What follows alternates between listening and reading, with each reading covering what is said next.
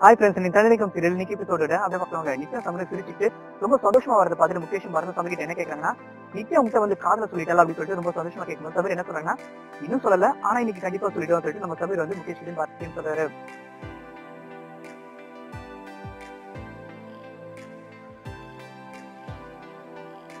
அமீர் சொன்னதை கேட்டு நம்ம முகேஷ் பாத்தீங்கன்னா பாரத் கிட்ட என்ன சொல்றாங்கன்னா பாரத் வித்தியாசங்களுடைய காதல மட்டும் சக்சஸ் ஆச்சுன்னா கண்டிப்பா என்னோட காதல் சக்சஸ் ஆயிடுன்னு சொல்லிட்டு ரொம்ப ஹாப்பியா முகேஷ் வந்து பாரத் கிட்ட சொல்லும்போது பாரத் வந்து முகேஷோட காதல் கிண்டல் பண்றாரு. அதனால முகேஷ் பாத்தீங்கன்னா ரொம்ப கோபம் பாரத்தை துரத்திக்கிட்டு வரும்போது நம்ம ஸ்வாதி பாத்தீங்கன்னா குளிச்சு ரொம்ப ஃப்ரெஷ்ஷா வந்து முகேஷ் மாடி வந்து நிக்கிறாங்க. முகேஷ் பாத்தீங்கன்னா ஸ்வாதியை பார்த்துட்டு அப்படியே பிளாட் ஆகுறாரு. ஏன்னா ஸ்வாதி அந்த அளவுக்கு ரொம்ப அழகா இருக்காங்க.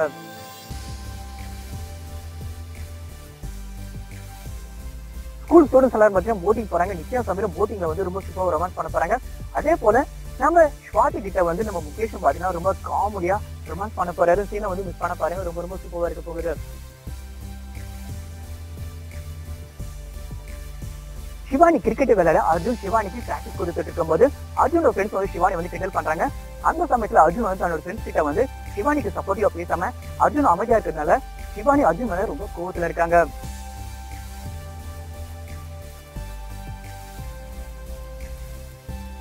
இதுக்கு பிறகு சிவானி அர்ஜுன மன்னிச்சாங்களா இல்லையா? வித்தியாசமரோட வாட்ச் அடுத்து என்ன நடக்க போகுது நெக்ஸ்ட் எபிசோடு அப்டேட் சொல்றாங்க. இது மாதிரி நினைத்தால எனக்கு உங்களோட இன்ட்ரெஸ்டிங்கான ரொமாட்டிக்கான அப்டேட் தெரிஞ்சுக்க மறக்காம நம்ம ஜிடிவி டிவி என்ற சேனல் சப்ஸ்கிரைப் பண்ணுங்க. பக்கத்துல இருக்க பெல் கிளிக் பண்ணுங்க. நெக்ஸ்ட் எபிசோட அப்டேட்ல உங்க எல்லாரும் மிஸ் பண்றதுக்கு உங்களுக்கு வீடியோ தருவது நான் உங்க மென்டலி